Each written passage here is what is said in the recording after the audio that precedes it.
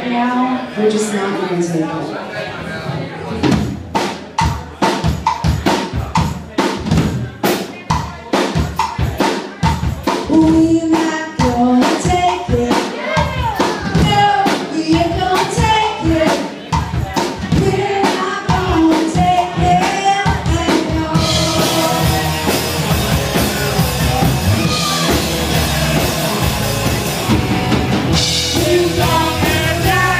now.